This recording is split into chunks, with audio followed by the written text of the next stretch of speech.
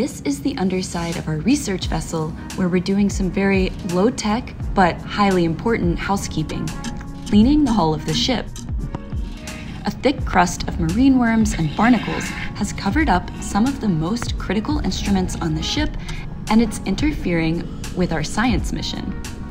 Let's take a beat here to appreciate the hull in its pristine pre barnacle condition back in 2020 when the vessel was brand new. So we're down here in the dry dock at the very bottom of the ship, and this here is the acoustic gondola. So the acoustic gondola is jam-packed with all of our sensors for measuring the seafloor and the water column.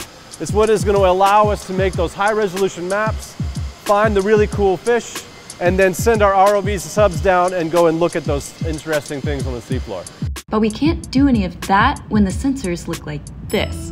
The buildup causes inaccurate readings. For instance, it interferes with the sonar system that we use to make highly detailed maps of the seafloor. Without correct readings, we can't make accurate maps or get a good picture of the water column. And we rely on that data to plan our submersible dives and carry out all of our science objectives. So, at 7 a.m., before the day's operations begin, some of the crew suits up for a cleaning session led by the dive safety officer. Good morning. So, we're about to do a hull inspection and a cleaning of the gondola where all our scientific equipment and our mapping equipment is.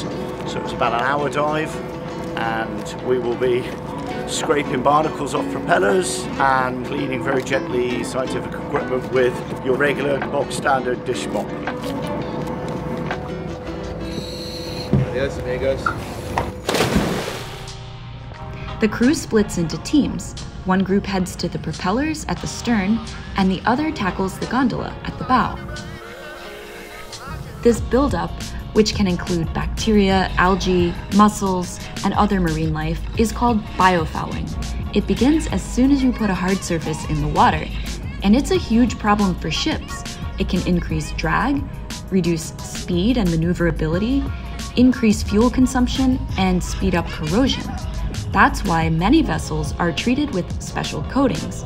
Some coatings rely on chemical reactions to repel marine organisms, while others make the surface slippery so that it's physically harder for the organisms to latch on.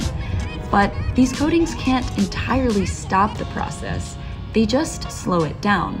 So it won't be long before the crew is back for another round of hull cleaning so that the ship can keep exploring the unexplored.